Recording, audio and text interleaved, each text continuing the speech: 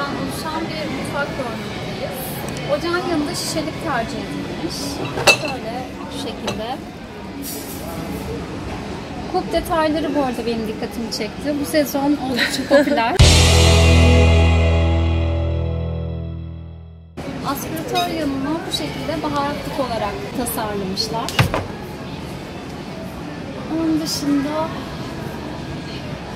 aspiratörün hemen üstünde kullanacağınız elektronik ev aletlerini koyabilirsiniz.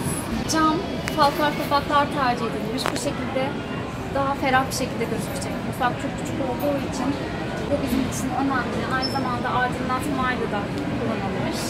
Hemen evin yanında bulaşık makinesini görüyoruz sağda ve evin altında çekmeceler var. Bakalım. Evet depolama amaçlı kullanılıyor. Burada da gene aynı şekilde tencere, tava koymak için. Kaşıklık için burayı düşünmüşler. Ama mutfak çok küçük olduğu için zaten yani aslında yanlış. Ocağa yakın olması lazım ama mutfak çok küçük olduğu için o kadar da uzak bir mesafe değil.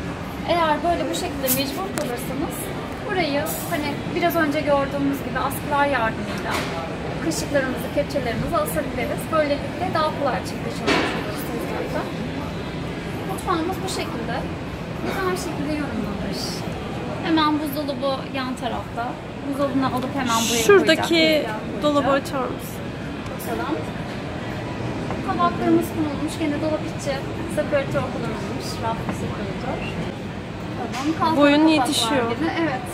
O yüzden bu dolaplar pek fazla kullanılmıyor. Hı hı. Yani fazla kullanmadığınız eşyalarınızı üst taraflara koyarsınız.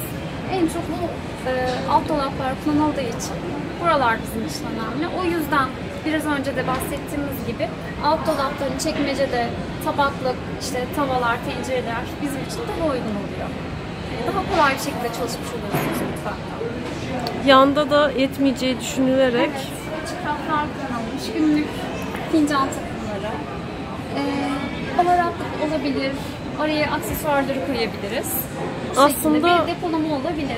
bu mutfaktan bağımsız evinizin her yerinde kullanabileceğiniz Evet. çok amaçlı bir açık raf depolama. Evet, açık raf sistemi. Ama estetik bir ürün olduğunu söyleyemeyeceğim. Evet ve mutfakla da ilgisi yok. Aslında burada siyah bir raf görmek isterdim ben. Eğer açık raf olacaksa. Ama Amaç satış olduğu için burada ürünü doğru bir yerde sergilemek. Tezgahta chipstone tercih edilmiş. Tezgah arası da aynı şekilde chipstone tercih edilmiş. Bir bütünsellik elde etmişler böylelikle. Evinin siyah oluşu, chipstone'un koyu renk oluşu kesinlikle rahatsız etmiyor. Çünkü dolaplarda parlak kapaklar kullanılmış. Yan yüzey aynı zamanda buzdolabının yan dikmesinde de dolap malzemesinden kullanılmış. Genellikle bazı mobilya şirketleri bunu kullanmak istemiyorlar. Biraz daha masraflı olduğu için normal gövde malzemesinden kullanıyorlar. Ama bence dolap malzemesi neyse aynı şekilde aynı malzemeden kullanılması lazım. Böylelikle mutfakta bir bütünlük elde etmiş oluyorsunuz. Ve bu mutfak için söylemem gerekense parlak malzeme olmasından dolayı bir aydınlık hava vermiş. Aynı zamanda dolap altı aydınlatmalar da olduğu için ışığı yansıtıyor böylelikle ve e, tezgah altını karanlık düşürmüyor. Dolaplarda yine biraz önce söylemiştik cam yüzeyler kullanılmış. Dolap kapakları parlak. Bu yüzden mutfağa şöyle genel anlamda bir bakacak olursak e, karanlık, rahatsız edici bir havası yok. Bizi ilk kez izliyorsanız ve kanalımıza hala abone olmadıysanız lütfen kanalımıza abone olmayı unutmayın. Sıradaki video ne olsun? Ee, bu tarz içeriklerin devamı gelsin mi? Lütfen aşağı yorum bırakmayı unutmayın. Evet diğer videoda görüşmek üzere. Hoşçakalın.